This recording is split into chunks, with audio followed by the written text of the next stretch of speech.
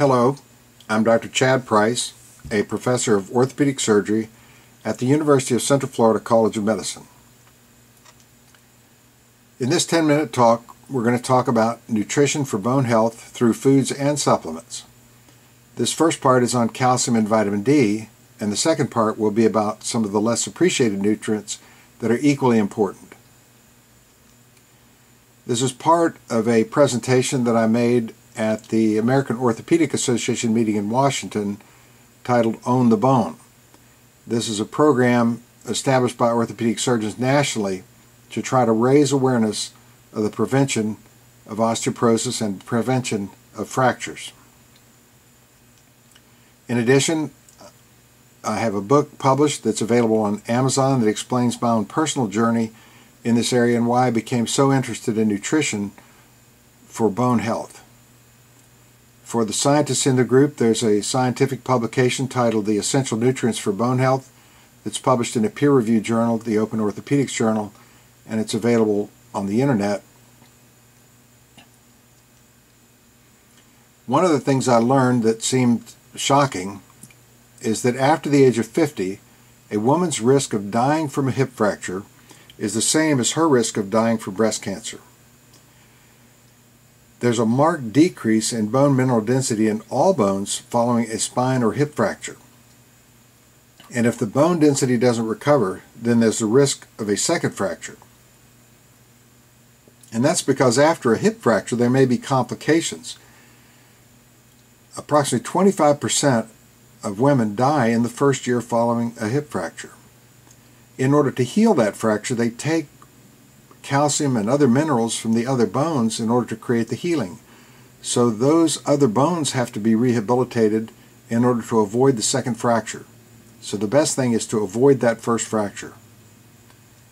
In 2004, the United States Surgeon General issued a report called Bone Health and Osteoporosis. This report said, quote, the evidence clearly suggests that individuals can do a great deal to promote their own bone health. And that's why it's so important that you take charge of your own bone health program to prevent that first fracture. Recently, the United States Preventive Services Task Force issued a report on vitamin D and calcium supplementation to prevent cancer and osteoporotic fractures in adults. For this talk, we'll focus on their findings regarding osteoporotic fractures.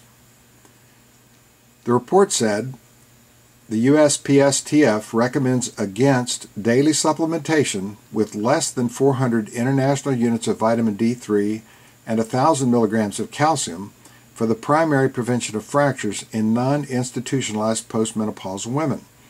So that means that ordinary adult women who've never had a fracture are not going to have much prevention by less than 400 units of vitamin D and 1,000 milligrams of calcium.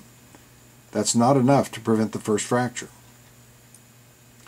Well, the news media picked this up, and here's a report that says USPSTF says no to vitamin D and calcium for older women. And that's not quite what the report said. They didn't, the media didn't quite get it right. What this news announcement should have said was that the USPSTF recommends against daily supplementation with less than 400 international units of vitamin D3. In fact, the reports said that the largest trial in this study included the analysis of a randomized controlled trial called the Women's Health Initiative. This was a study of over 36,000 women aged 50 to 79 years of age. The task force report said it is important to note that the dose of vitamin D used in the Women's Health Initiative would not be considered sufficient today. The task force report went on to say that research is needed to determine whether daily supplementation with more than 400 international units of vitamin D and 1,000 milligrams of calcium reduces fracture risk. In fact, that's already been reported in the Journal of the American Medical Association in 2005 in a paper by Bischoff Ferrari that stated that supplementation with 800 to 1,000 international units per day is associated with lower risk of fracture, while supplementation with 400 units per day is not as effective for fracture reduction. This was recently confirmed in the July 2012 issue of the New England Journal of Medicine. So it's important to note that 400 units is not enough, and it's preferred that you receive 800 to 1,000 international units per day as a supplement of vitamin D. The National Osteoporosis Foundation has confirmed this. They said, quote, We have known for a long time that calcium and vitamin D are critical, but are not enough alone to prevent fractures. The daily needs from diet and supplements are 1,200 milligrams of total calcium and 800 to 1,000 international units of vitamin D. However, the task force report noted that 1,000 milligrams of supplemental calcium is associated with an increased risk of kidney stones, and this has been noted by other authors as well. The May 2012 Heart Journal reported that calcium supplements increase the risk of myocardial infarction, or heart attacks, and that's even a bigger concern. They noticed that the risk of heart attack was more pronounced in those taking only calcium supplements. So if you took it with vitamin D or vitamin K or both, then your risk of heart attacks was decreased. Fortunately, there was no increase in total mortality, just an increase in the number of heart attacks. And this report did not assess the lower levels of supplementation compared to higher levels.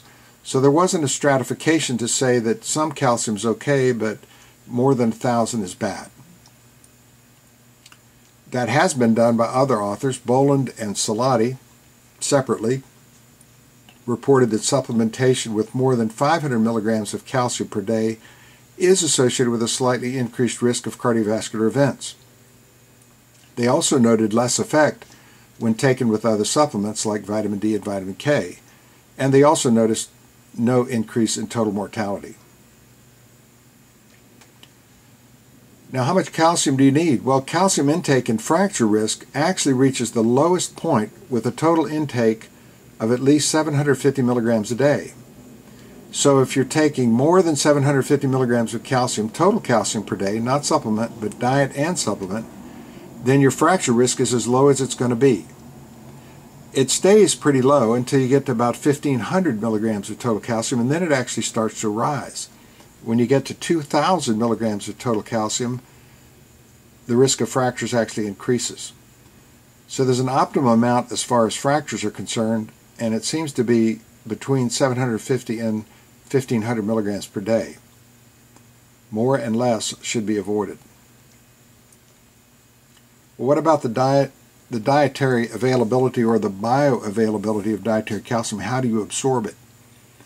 The NIH and other reports have stated that more than 500 milligrams of calcium at one time is poorly absorbed, and they've also noticed that it's best taken with meals and with vitamin D or vitamin K. How about calcium carbonate or calcium citrate? These are equally absorbed with meals, so the form may not be as important. They're also equally absorbed on an empty stomach, except for those taking medicines to reduce stomach acid, and these are called proton pump inhibitors and H2 antagonists. So if you want to take your calcium on an empty stomach, then it's okay to do that unless you're taking some of these medications for heartburn and acid reflux. If you're doing that, then it's best to take it with meals or to take calcium citrate. So the type of calcium may not be as important as the other factors that affect calcium absorption and utilization because this depends more on the metabolic health than on the brand of calcium. For example, estrogen, vitamin D, and proteins influence the absorption of calcium. Milk proteins in particular help calcium absorption a lot of adults don't tolerate milk, so yogurt and cheeses are a little easier on the stomach for most adults. On the other hand, vitamin K, boron, silicon, and inositol improve the efficiency of calcium and how it gets into the bone. So how much calcium do we need? As we said, 1200 milligrams per day total, counting dietary and supplements, are what we need more than a total of 2,000 milligrams increases the risk of kidney stones, increases the risk of heart attacks, and may increase the risk of hip fractures. Now, the median intake in the United States for adult women is 600 milligrams a day, so most people need some supplement. But a 500 milligram supplement is sufficient for most women. Now, vitamin D and calcium are known to promote bone health. They're very important. But the current emphasis is more on vitamin D than on calcium, although both are important. And higher doses of vitamin D are preferred in the range of 800 international units to 1,000 international units per day. I agree with Munger, who in 1999 said the preoccupation to date with calcium has resulted in less emphasis on the role of other nutrients in bone quality and osteoporosis.